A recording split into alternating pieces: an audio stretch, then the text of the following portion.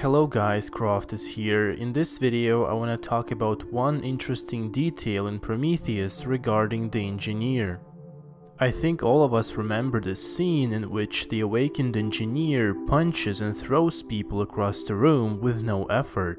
That made me wonder how strong was the engineer in Prometheus compared to humans. More specifically, how strong was the engineer's punching power compared to strongest human punchers like Mike Tyson and Olympic boxers.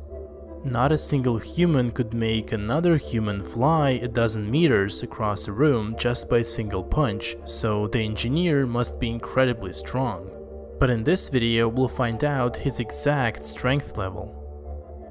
I also wanted to thank you guys for watching my videos. I know I don't post very often, so make sure to hit the notification bell to not miss videos when I release them.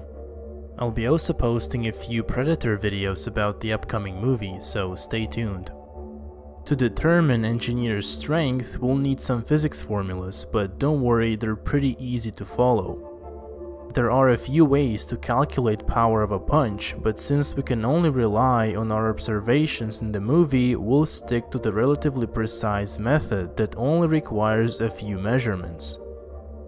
Fortunately, we can use one of the Isaac Newton's laws that says that force, or a punching power in our case, equals mass times acceleration. So to estimate how strong was the engineer, we need the mass and the acceleration of people that he punched. According to laws of physics, the force exerted by the engineer's hand is equal to the force required to throw the crew members across the room in the way we saw it. So, instead of estimating the mass and speed of the engineer's hand, which we don't know anything about, we will estimate the same parameters regarding the crew members, which is much easier. If we find the force that was needed to send Ford and Weyland Guard flying across the room, we will find the force of the engineer's punch. We can ignore planet's gravity because all crew members move pretty much like on Earth. Let's first find the force it took to throw Jackson across the room. The way the engineer moved his hand to kinda throw Jack is very similar to an uppercut, so we'll use this to estimate engineer's punching power. For our formula, we need the mass and the acceleration of his body after the punch. Judging by his height and the fact that he's in military, we can assume that he carries a significant amount of muscle which weighs more than fat. Therefore, his body weight would be around 200 pounds. Then we add the weight of the costume, another 50 to 70 pounds, which results in the total of about 260 pounds. Now that we have the mass, we need the acceleration of Jackson's body, which we'll get by knowing the size of the platform. In the Prometheus script, the sleeping pods are described as 20 foot long, and by looking at the set photos, it's clear that another sleeping pod would fit in the center between the two. So the platform is about 60 foot in diameter or 18 meters. Then we estimate that Weyland's bodyguard traveled the distance of about 10 meters on the platform and a few additional meters between the platform and the wall. By measuring the time it took him to reach the wall, his speed comes to about 14 meters per second. However, we need the acceleration, so by dividing 14 by the time he reached that speed after the punch, we have that the acceleration equals 56 meters per second squared.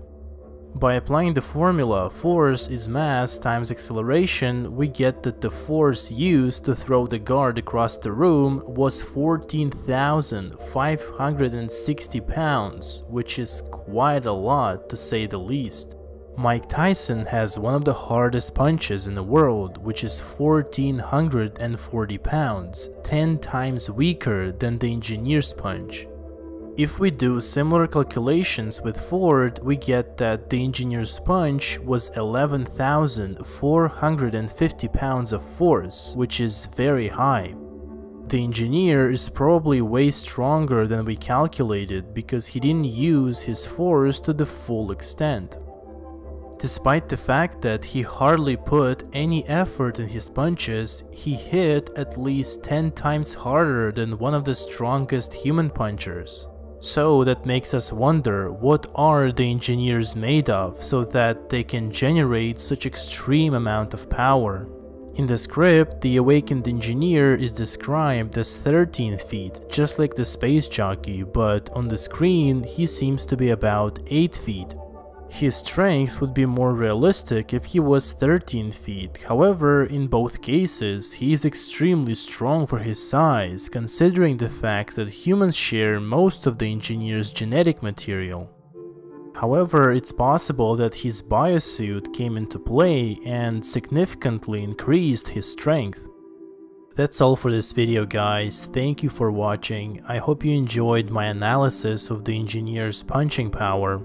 Let me know in the comments how come engineers possess such incredible strength. Also, like the video and subscribe to the channel for more alien content. My name is Kroft and I'll see you in the next video.